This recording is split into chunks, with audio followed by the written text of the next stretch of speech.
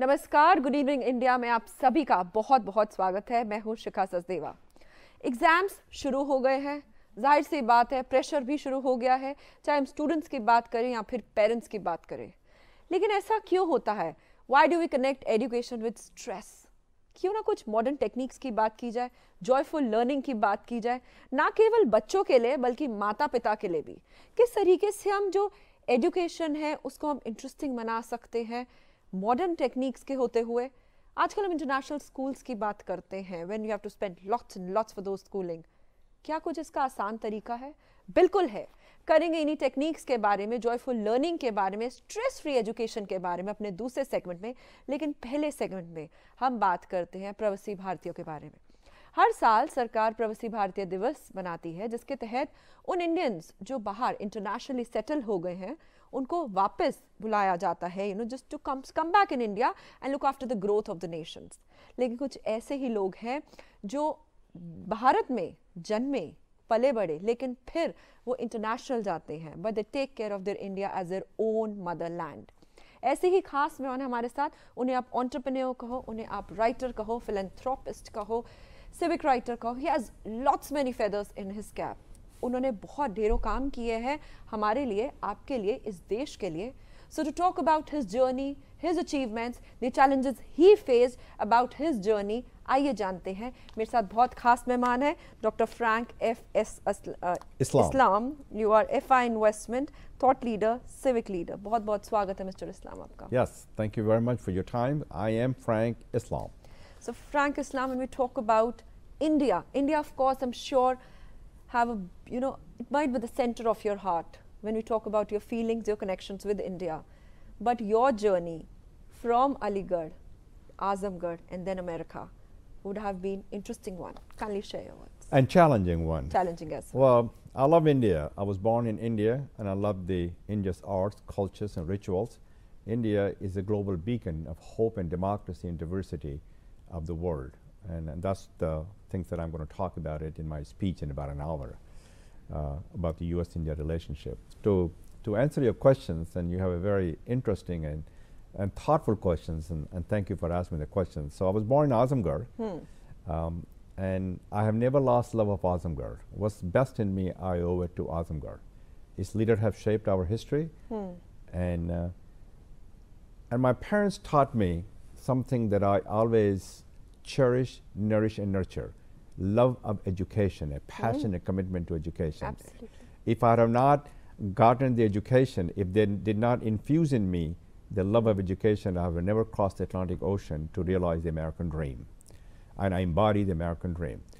So I went to Aligarh Muslim University, which is not, uh, uh, and uh, one of the professor, Wolfgang Thron, who was a professor at the University of Colorado in Boulder, uh, came to Aligarh Muslim University as a visiting scholar, I believe, hmm. and he sort of talked, told my, my parents that I want to take this kid to America. They said, take him.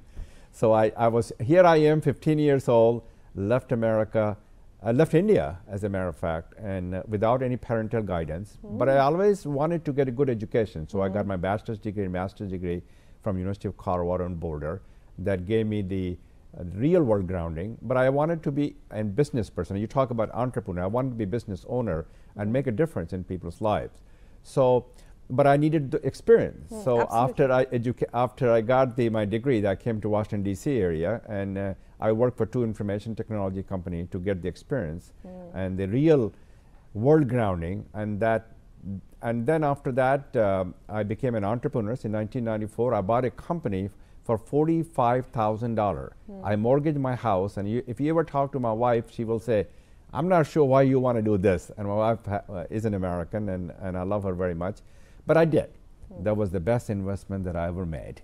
That 45,000 yielded to several hundred million dollars. So within 13 years, uh, my my management team and I were able to grow that company for one employee, that's me, to 4,000 to employees and to 300 million dollar in revenue. And then I sold the business in 2007 to Mr. Ross Perot. You probably heard of him. He ran for the president of the United States also uh, against George H.W. Bush and President Clinton. and and that gave me the financial independence. Then I then my wife and I started the foundation, Frank Islam and Debbie Driesman Foundation, which focuses on education, which you mentioned, arts and culture, and civic engagement and world peace. Uh, um, and we can we can you can ask me about education, but the thing which I want to highlight about the uh, importance of the arts and arts, art, as President Kennedy says, nourishes the roots of our culture. Art transcends our boundary, and art represents the best of our humanity. And I'm also very civically engaged. I have Frank Islam Civic Engagement Institute, and I also um, involved in a conflict resolution. I've given a several million dollar U.S. Institute of Peace to make sure that the, we have a world which is a conflict free. We should not look at the God in heaven, the God that we worship. We look at the family that we are on this earth Absolutely. and and that's the reason I'm also interfaith dialogue, which is which which allows us to build the bridges of understanding and cooperation, and also brings people together. The democracy and diversity; those are the two values that binds us together as an American Indian, and and diversity brings us uh, together. Diversity makes us stronger, and when we're stronger and together, we can help shape a better future for Absolutely. India. We, we can change the world. So I would say from you the very you very well said. we can change the world absolutely so you talk about from the world peace to education to being an entrepreneur to you know actually expanding and multiplying from being number one to now thousands and thousands so you know what made you coming back to india to spend here in india to get engaged more in india because you were doing so well back then in america Well, uh, I would say that the I would have not crossed this ocean if I were not born to India. I love this country very much, and I want to give back. So I'm reminded and guided by the words of President John F. Kennedy, and I quoted Kennedy when I uh, talk about the arts and culture. I sit on the board of the trustees of Kennedy Centers of Performing Art, appointed by President Obama, uh, who happens to be a good friend. So the so your question with regard to why I come back to India and I come back every two years. I want to give back to this country because this country has been good to me, and I also want to give back in uh, education, which is mm. the most important part of it. So I came here about three years ago to mm-hmm. inaugurate Frank and Debbie, my wife Debbie, Islam Management Complex at the Aligarh Muslim University. Mm. And that management complex have innovations and entrepreneurship center. And I hope we mm. can create one day Silicon Valley between Aligarh and Delhi. Wouldn't that be nice? absolutely and we can create jobs, build, build employment, and, and, and make a difference. And especially the young, um, young, Young people are the hope of tomorrow. The promise and potentials of, and possibilities of uh, India and the world.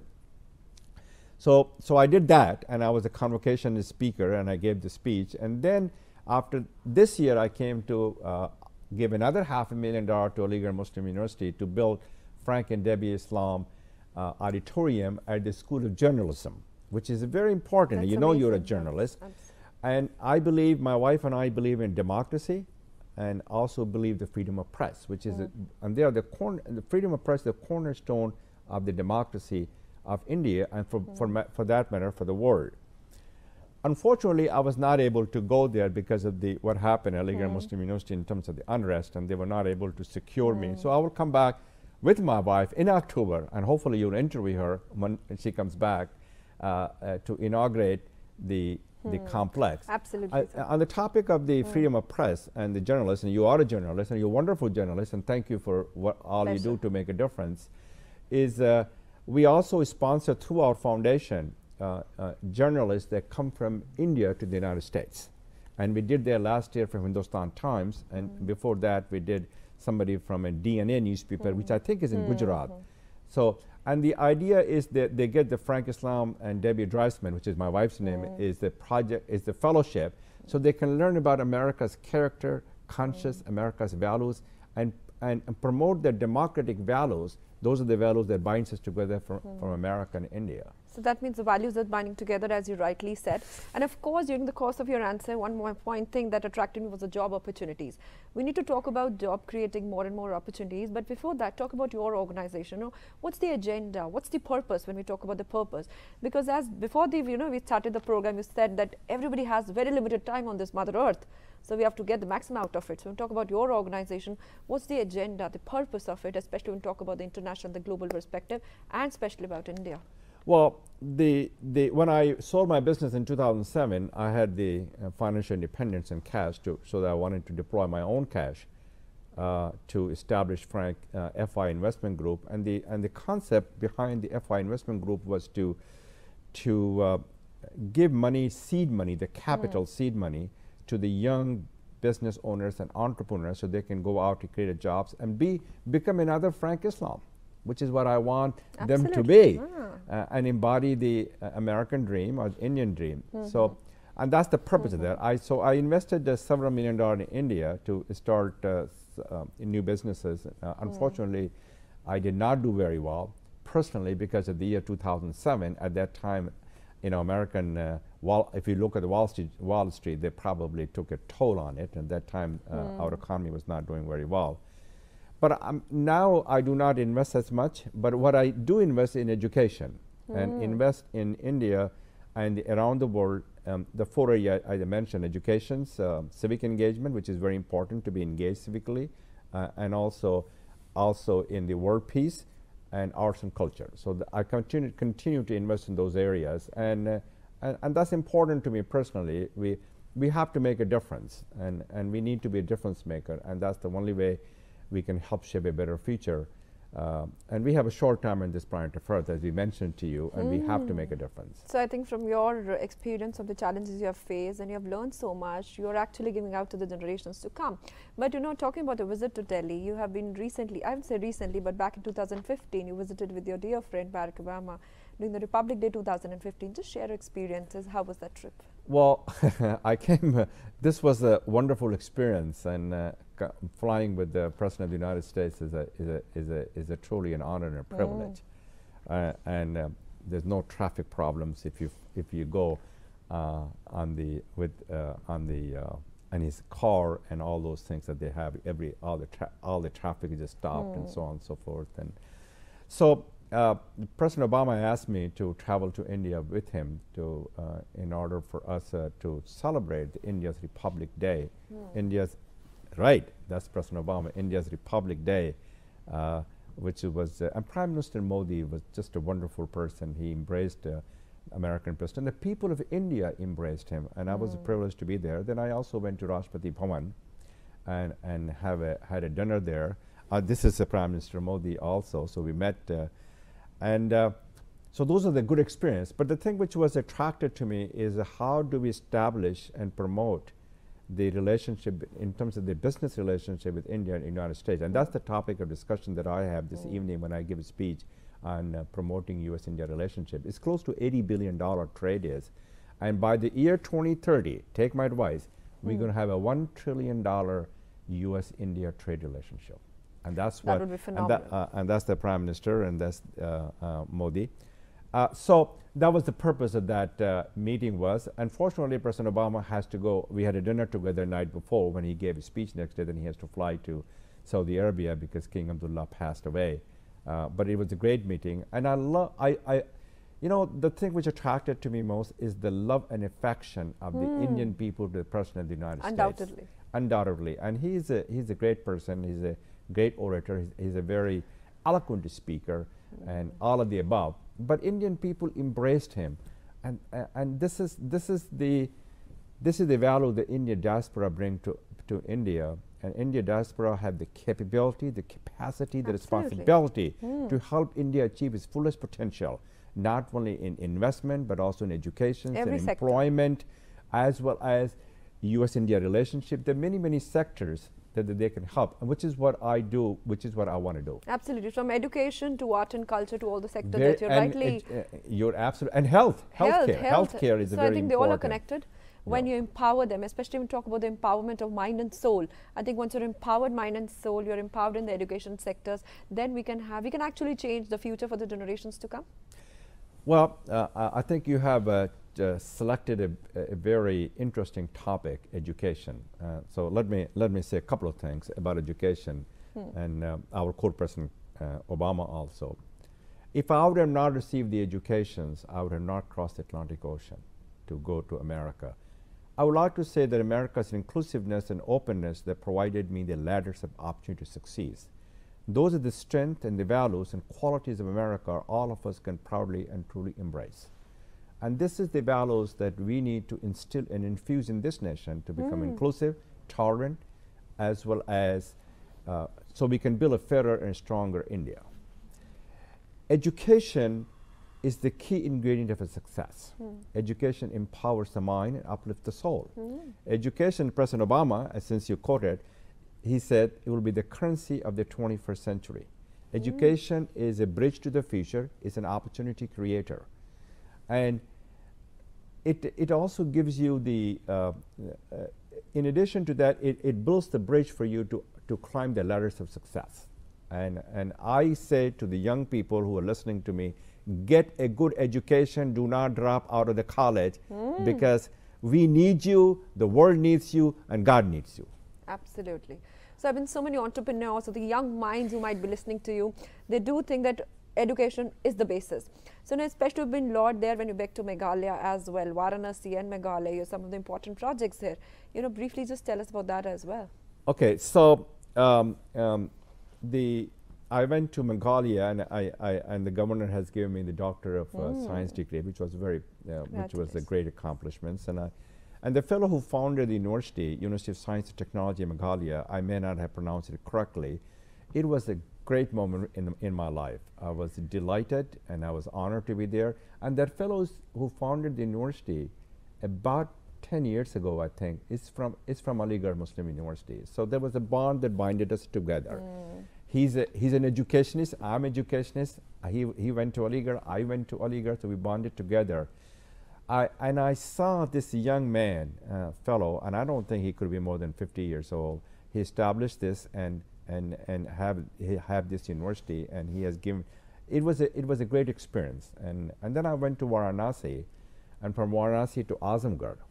Now, one of the things I want to talk about the Azamgarh that I, d- I did not mention, purpose of my trip, to establish a Frank and Debbie Islam uh, health clinic in the village that I was born in Azamgarh. Uh, it is. It looks like America. It's such a beautiful. It's a very small though, but I want people to get a good, uh, not only good education but good health, Health because edu- health healthcare is in in this country is for the privileged and the rich people, not for the poor people or the middle class. So I want them to get a good health and preventive health and make sure that uh, we can get a doctor over there who can take care of the people over there in the surrounding villages. And I also did one more thing, and that I'm very grateful to my mother. Uh, I established a girls' college. I do believe that education for the girls hmm. is a very, very important. This should not be confined to the four walls, especially the Indian Muslim girls. Hmm. They and uh, they they should not be isolated. Their voices should not be ignored, and they have the capacity, I hmm. believe, to determine their own destiny if they go get good education. And mm-hmm. this 50, more than 50% of the people in India mm-hmm. are women. We need to give, we need to exploit their fullest potential Absolutely. to, so that they can achieve their, they can achieve what they want to achieve. And they should look at Miss, M- M- Mrs. Gandhi, who was the prime minister, mm. and they should look at the Pepsi Cola CEO Indra Nooyi, who's a mm. personal friend, and many, many others who shaped India. And I want them to be one of them. Absolutely, you know, so from health, I would say, to education, every sector in which we are working in. So before we wrap up the discussion, you know, you're talking about the girls, especially with we, I would say the youth of today. They shouldn't be confined to the four walls. They have to look beyond the horizon. So they should be given more opportunities, venture into the new more horizon. benefits, more opportunities, so that they can work across and can actually, you know, do good with their future.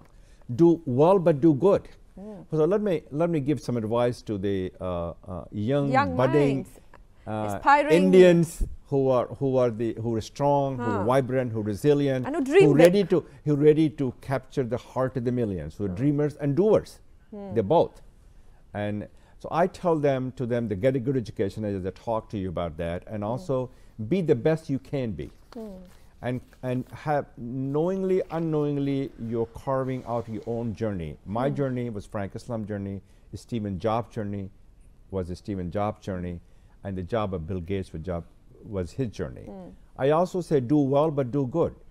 I also say help others to succeed when you are successful.